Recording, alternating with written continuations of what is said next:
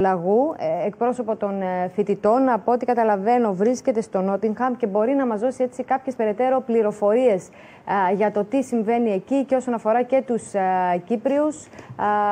Μάρια, καλό μεσημέρι. Χαίρετε, καλό μεσημέρι από μένα.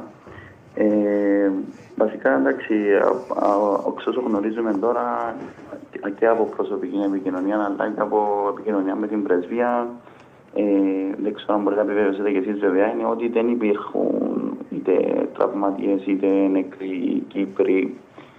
Ε, mm-hmm. Το ευτύχημα στην όλη κατάσταση είναι ότι οι Κύπροι φοιτητές στο Μάντσεστερ, κάποιοι από αυτούς έχουν ήδη τελειώσει, οι περισσότεροι λόγω εξετάσεων ενώ και διαβάσματος δεν είχαν πάει στη συναυλία. Εν τούτη, εντάξει, έχει επηρεαστεί κάπως η καθημερινή ζωή. Μας έχουν πει ότι ε, αστυνομικά αυτοκίνητα κυκλοφορούν στον χώρο, υπάρχει έντονη αστυνομική παρουσία.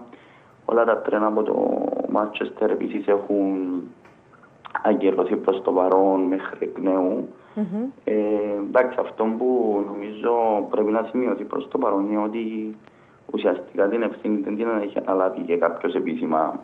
Άρα δεν ξέρω κατά πόσο θα ήταν και σωστό να Επίσημα μιλάμε για τρομοκρατική επίθεση και φαίνεται ότι έχουμε και τα πρώτα πανηγύρια Μάρια από το ISIS.